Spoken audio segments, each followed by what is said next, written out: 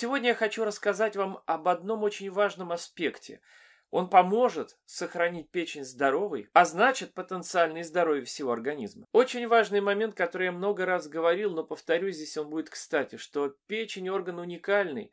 Порой, и это я лет 10 назад еще в своих старых видео говорил, что достаточно одной трети, одной четверти порой печени, чтобы человек жил, даже не ощущал. Печень не будет болеть, если какие-то проблемы с ней возникают, потому что там нет нервных окончаний. Но это как и в головном мозге. Только бывает голова болит, это совершенно по другим причинам. На ликвор давление избыточно идет, тогда боли. Там уже в других местах рецепторы, но не в глубинных слоях головного мозга. Также и с печенью. Но печень способна выполнять свои функции, если она хотя бы на треть цела еще пока. Но люди своим неправильным образом жизни, питанием в первую очередь печень убивают, а значит, все дальнейшие функции организма нарушаются. Очень важно это понять. Это сделать легко, так как клетки печени способны к регенерации, и она очень быстро восстанавливает себя, буквально за считанные недели. Так что здесь важно понять в связи с данной сегодняшней темой? Печень орган уникальный, это главная и очень крупная железа нашего организма,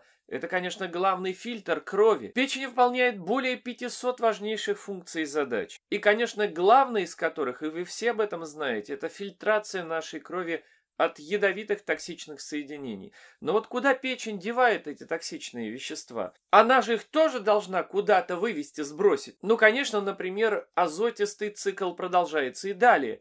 Почки уже выделяют часть азота мочевина, это понятно. Но в основном вся отработка печени идет по общему желчному протоку и попадает в желчный пузырь. Желчный пузырь это не только емкость для хранения самой желчи, которая в случае надобности, смотря что человек съел, и если желчи требуется много для расщепления жирной пищи, для других функций и задач, она выходит в большом объеме, но опять-таки куда? В общий желчный проток.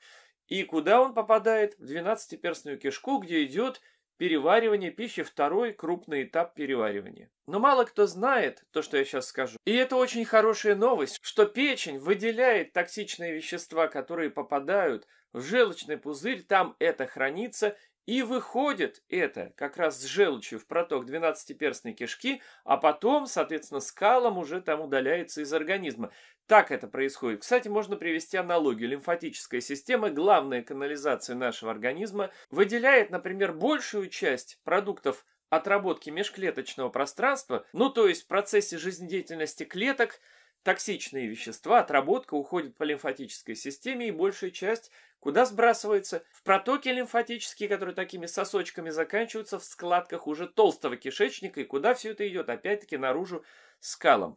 Вот так примерно это происходит. А что из этого мы можем и должны уяснить? Очень просто. Зная эту особенность, мы должны помочь нашему организму, в первую очередь нашей печени, выводить, а не накапливать в себе эти продукты метаболизма, вредные, которые надо вывести из организма. Но как? Провоцировать надо, то есть мы говорим о желчегонных средствах, но не из аптеки синтетические, а натуральные. Например, некоторые травы являются желчегонными, да, сами можете посмотреть какие. Но еще проще, чеснок – одно из самых сильных на планете желчегонных средств. Что делать? Очень просто. Есть чеснок с пищей, особенно с жирной пищей, например, салат, там, скажем, авокадо, масло и чеснок. И тогда чеснок будет провоцировать выделение желчи, сокращение желчного пузыря, и будет происходить выброс желчи, а с ним и токсичных веществ. Тогда будет происходить как бы детоксикация печени. То есть, еще раз, печень, естественно, сама себя восстанавливает. Но отработку продуктов метаболизма, тем более это фильтр, куда она эти токсичные вещества для организма девает? Сбрасывает желчный пузырь. И, конечно, плохо тем людям, у кого дискинезия желчевыводящих путей, то есть пережатые протоки. Тем людям нужно идти к висцеральным массажистам, и массажами правильными, соответствующими, это выправляется в принципе. Минуту моей рекламы. Качественный, уникальный и очень нужный всем продукции от Фролова. Понимает тот человек или нет, от этого суть не меняется. Я рекомендую всегда иметь с собой и дома в аптечке вот этот спрей для носоглотки. И вот почему. Он лечит насморк, сопли, заложенность носа, но это не главное. Он снимает зависимость от сосудосуживающих препаратов, на которых миллионы людей сидят годами, а значит снимает сухость слизистой и перспективу заработать полипы в носу. А еще это защита от вирусов. Просто перед походом в общественные места брызгайте и нос, и горло, давайте его с собой детям в школу. Берите везде и всегда. Защитите себя от ангин, ОРЗ и ОРВИ. Подробнее о нем вы можете посмотреть вот в этом видео, ссылка в описании. А еще в данной линейке препаратов, созданных учеными Новосибирского академгородка, гель для суставов глубокого проникновения для регенерации хрящевой ткани межсуставной жидкости, который лечит артриты и артрозы. Также хочу вам предложить гель-сорбен для кишечника, который очищает кишечник и нормализует его работу. А еще вот этот уникальный гель и крем глубокого проникновения для омоложения кожи. Все эти препараты не имеют аналогов в мире. Ни в Швейцарии, ни в Японии нет ничего подобного. Ссылки на эти четыре видео об этих пяти продуктах я дам вам в описании под этим видео под номерами 1, 2, 3, 4. Приобрести те или иные качественные товары, добавки, масла, все то, о чем я говорил, и то, что я не сказал в этом видео, но рекомендую в той или иной связи, вы можете на нашем сайте nadgard.ru. Мы отправляем наши товары, а ваши, соответственно, заказы в любые города России и любые страны мира, где есть почта России. Я имею в виду в других странах мира, где она работает. У кого камни в желчном пузыре, это плохо.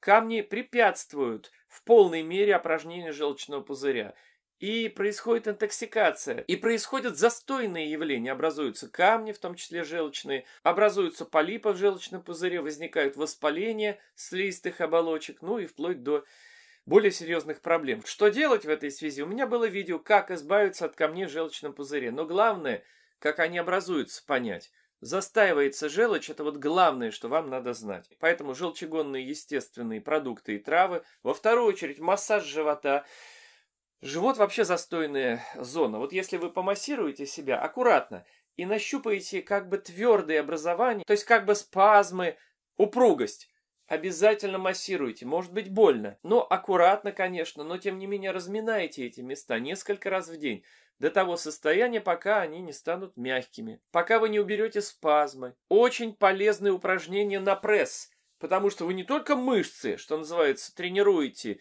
и уменьшается живот, а увеличивается мышечная масса, но и перистатика кишечника улучшается. Все тут связано. Работа кишечника с работой, естественно, желчи и печени. Помогите себе этими несложными упражнениями. Пусть это видео короткое, но оно очень важное. Это сама суть, сама мысль, это очень важна. Поэтому я решил его сделать, но скажу вам так. По печени у меня все было, все, что необходимо знать. И как болезни печени определить по ногам, по определенным физическим, скажем, ну, особенностям организма. Какие продукты вредны для печени? Что такое жирная печень? От чего она жиреет? Какие продукты категорически надо исключить из рациона питания, чтобы она могла жить и спокойно работать? Вот все это и многое другое смотрите в моих видео, я их под цифрами 1, 2, 3, 4, 10 оставлю прямо под этим видео. Есть набор программа для регенерации клеток печени, то есть для очищения печени. Ссылку тоже оставлю.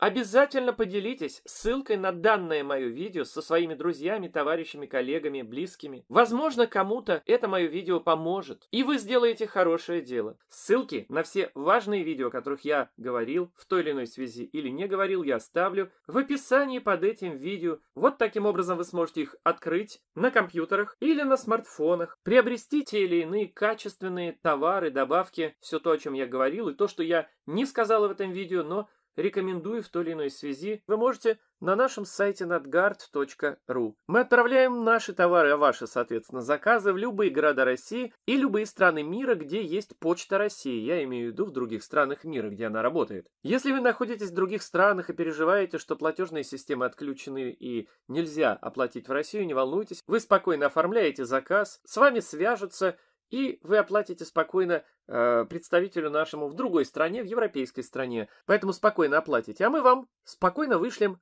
если работает Почта России у вас, наш товар, ваш заказ в вашу страну. Каждый день мы так отправляем, проблем нет никаких. Ну что ж, до новых встреч, до новых видео, всего хорошего, до свидания.